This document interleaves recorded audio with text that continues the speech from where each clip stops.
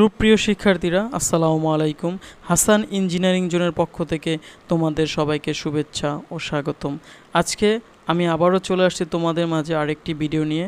তো আজকের ভিডিওটা হচ্ছে মূলত একটি ডুয়েল টাইমারের মাধ্যমে লোডকে পরিচালনা করা। তো আমার সামনে যেটা দেখতে পারতেছো, সেটা হচ্ছে একটা ডুয়েল টাইমার। এই ডুয়েল টাইমার হচ্ছে এমন টাইমার যেই টাইমারের ভিতরে অন ডিলে টাইমার ফাংশন এবং অফ ডিলে টাইমার ফাংশন উভয়ই থাকে এবং নির্দিষ্ট টাইম সেট করা যায়।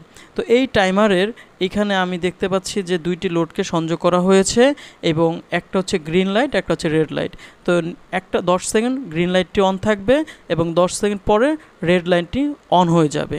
তো অর্থাৎ আমি যদি এটা একটু অ্যাপ্লিকেশন কোথায় অ্যাপ্লিকেশন করতে পারি? যে সাপোজ একটি মোটর দশ সেকেন্ড চলবে, দশ সেকেন্ড অফ থাকবে, আবার দশ সেকেন্ড পর রানিং হবে।